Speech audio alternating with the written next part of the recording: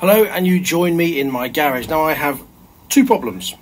One, the key snapped off in the barrel of my Kawasaki ZXR 400. Wasn't too much of a problem because I got the key out. However, it wouldn't unlock and it wouldn't come off key lock. So I bought a new barrel, no problem at all. Then lies problem number two.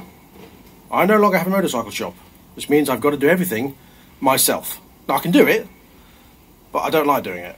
I'd rather have someone else do it and pay them to do it. But I thought, no, I'll do it because it's not that much of an issue. It's two bolts underneath and then plug and play with the two wires. hmm. Kawasaki and their uh, safety type stuff um, from 1991. Brilliant.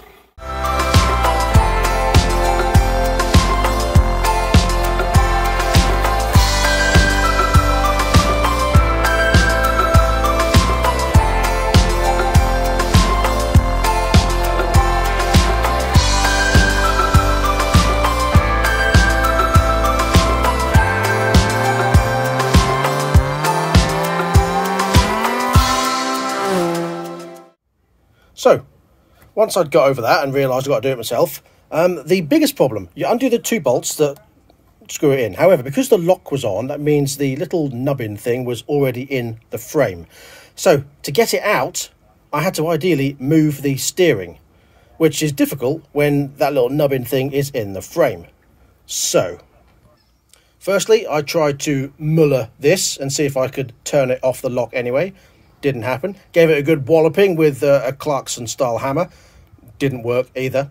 Um, managed to um, prise it off the frame and then ram the um, uh, handlebars round without doing any damage, thankfully. Enough to be able to prise it away from the frame and push it out. However, here lies the next problem. The wire for it goes through the frame, through there, and then underneath the airbox. Now I can't even see the plug to know exactly where under the airbox it is. But to get to the airbox, first of all you have to take the seat off, then the side panels, then the tank, then the airbox. Why? Seriously, why can't I just have a little hole at the side and I can just sort of negotiate it and clip and job done? But no, nothing is easy, is it? So, right now, I've undone the seat, I've undone the tank. I haven't taken the side panels off because I thought I could cheat and try and prise these apart and get it out, but that isn't going to happen because I'm going to end up snapping them. I know that. So I'm going to have to undo them, undo that, take that seat off just to get these side panels off before I can get the tank off and then make sure I uh, take the, and I have turned the fuel off, uh, to make sure I uh, take the uh, fuel line off, get the tank out of the way, which is full of petrol, obviously. Um, and then get the airbox off just to get to those bloody wires. Ridiculous. I hate bikes. I, I, I love them, but I hate them. Okay, so there's the new ignition barrel and there's the old ignition, so it's off. However, I've discovered another little issue. It's not a massive issue, but it is an issue. That is the correct connector, but that blue connector there leads to the white wire, which seems to have been chopped off this old one for some reason. I don't know why, but it's connected to a separate wire in that blue connector down there, and then that's the earth. I think I'm going to have to do the same because I don't want to investigate why. I don't want to plug it all in and find out why that isn't working. So I'm just going to cut the white wire off this one, off the new one, here at the back, and uh, put a bullet connector on it and connect that up to the original port because it seemed to work before so. There we go. So now comes the rerouting and the connecting and putting back together. Well in true me style that is the connector I am after to go in there. And in my connection boxes that's the only one I don't have any of. And they just rattle around inside. Unbelievable. It's just my bloody luck. It's just me all over this and of course that is tight in there so I can't even get to it to snip it off and put another connector on. This is just ridiculous. I hate bikes so much. Okay, so the wires are in and connected and I've not bodged it at all. Just found a smaller connector and closed up the other one. very, very tightly. Um, so, moment of truth. Ignition on. Yes. That's good. All right, make sure we get a start. Yep, okay, excellent. Right, now to put the bike back together. Yes, I managed to uh, lay the tank on there without taking the uh, pipes off because I noticed a slight weepage and I thought, no, I'm not going to end up with fuel everywhere. So let's reassemble the bike and see if it works. Okay, I'm not going to call it uh, schoolboy error. I'm going to call it exactly what it is. Complete and utter bell endery. In my rush to get the cables through and connected, I didn't pass them down through here first. Which means I can't get that through there. Which means I've got to take it off again. I can't believe this. I'll tell you what, the ball like I had getting that white wire out. Uh, there has to be another way of doing it. I can't believe this. This is just my piston lock. What a dickhead. I undo the connector, take off the the uh, earth wire. I could. Hmm, I wonder if I can pull that white wire through, cut it about here, put a new connector in here, and tape that up. So, oh, I wonder. Hmm. Um, I know it's, but I, I'm not going to be able to get that in again otherwise. That was a one-way thing, and that isn't coming out unless I completely replace it, and I don't want to do that because I just that is at a stretch already. So I can't really do anything else. I can't get down there to cut it without taking the airbox off the carbs, and I really, really don't want to do that. Because that means jamming them back on again afterwards. I don't want to take the carbs off. Do you know what? I've cheated. I've taken the end off, um, taken the connector off, remembering it goes across that way, and I can take that out, pass the wire through, and then connect it at the other end. Let's hope it works when I put it back together again. My wife's brought me out some homemade burgers. Lovely. Yeah. And of course, in true me style, that doesn't work because it's been hit by the Kawasaki bug. And that is that this does not fit through the bloody hole. Oh, hang on, doesn't need to go through the hole. Oh, uh.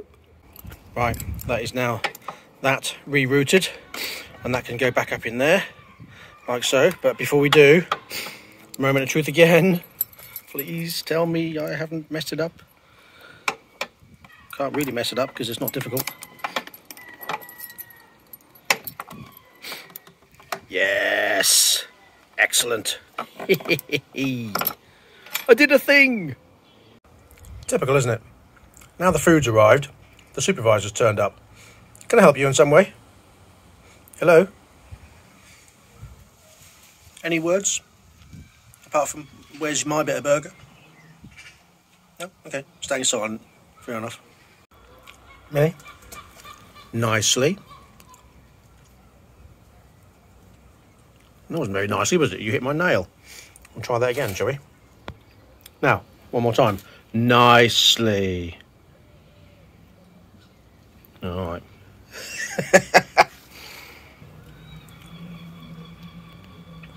Me and indeed Al. So, everything's back together as far as I want to for now. Before I put all the panels back on everything else, I want to make sure the ignition works and it starts. Now, bearing in mind this bike hasn't been started for a month, so fingers crossed. Let's see how it goes.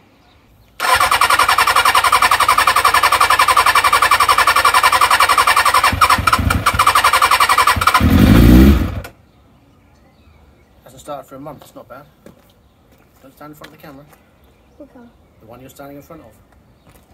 There. There. That one? Yes. Why?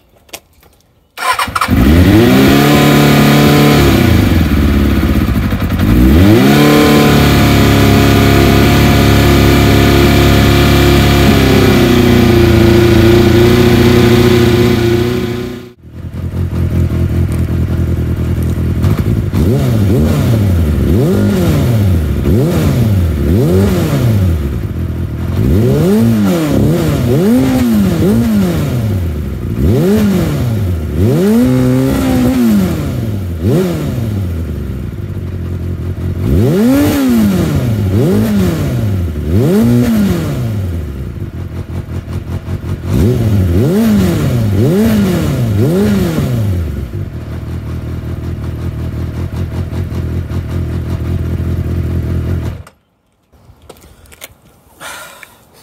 it needs time to warm up, like it always did. And it also needs a damn good run. I feel one of them coming on tomorrow. What do you reckon? So because I just can't leave it alone and I want to make sure it runs right, let's give it another go.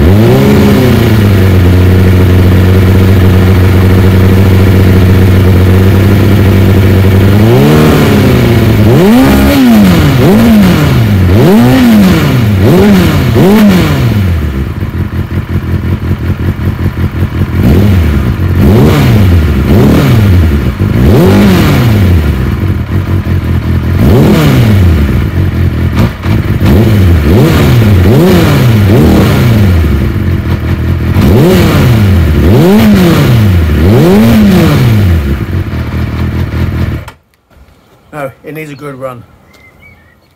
So, Patrick's made me a cup of tea. It's very nice. Um, I'm hoping it doesn't need a, uh, a carb strip. I think a good run will solve the issue. I, I hope a good run will solve the issue because it hasn't been started for about a month. And you really should start these once a week. And I just haven't had time with everything that's going on. I have not had time to do anything on the ignition.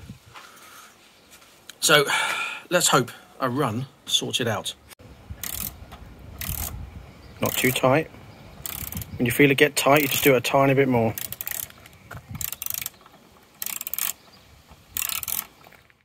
And that brings me to the end of this episode. Thank you very much for watching. I'll be back. I've got to keep I've got to stop looking over here because that's where the record button is. The camera's over there.